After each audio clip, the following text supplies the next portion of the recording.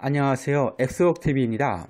지난달 2월 13일 일본 후쿠시마 나미에에서 7.3의 강진이 발생한 이후 3월 20일에 7.0의 강진이 미야기현 이시노마키에서 발생한 이후 6일이 지났으며 이제 3월도 6일 남았습니다.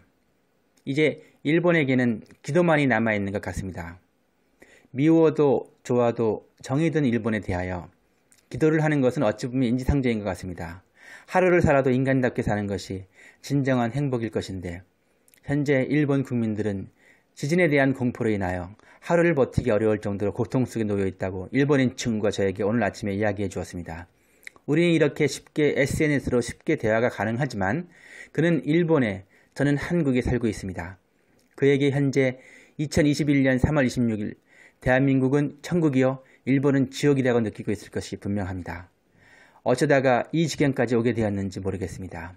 왜 신이 갑자기 일본에게 대지진이라는 큰 시련을 주시는 것인지, 왜 일본의 화산들은 계속해서 대폭발을 하고 있는 것인지 모르겠습니다.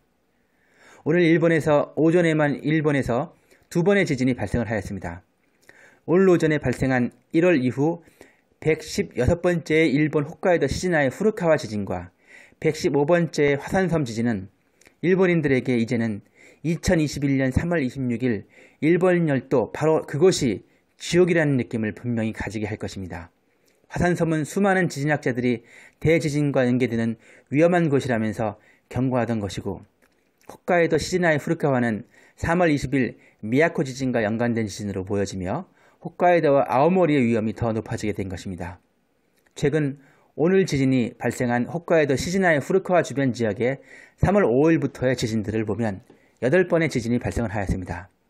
3월 26일 시즈나이, 3월 20일 미야코, 3월 13일 하치노에, 3월 8일 무수, 3월 7일 시즈나이, 3월 6일 요이치, 3월 6일 시즈나이, 3월 5일 시즈나이입니다. 2018년 시마니현 서부의 규모 6.1의 지진과 2016년 도토리현 중부에 6.2 지진이 있었습니다. 만약에 시마네현과 도토리현의 해상에서 대지진이 발생하게 될 경우 그 쓰나미가 한반도의 동부 해안을 강하게 강타할 확률이 매우 높습니다. 얼마 전 아기타현 서쪽 해상에서 발생했던 지진이 다행히 규모가 약해서 쓰나미가 없었지만 규모가 조금이라도 큰 지진이 일본 서해에서 발생할 경우 한반도 동해안의 피해는 상상을 초월할 수가 있습니다. 우리가 일본의 지진 상황들을 분석하고 연구해야 하는 이유 중 하나가 바로 이것이기도 합니다.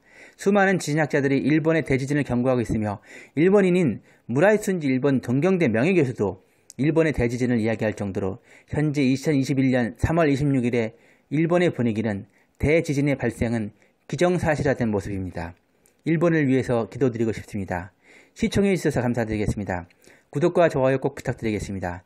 이 채널을 운영하는 데 큰 도움이 됩니다. 감사드립니다.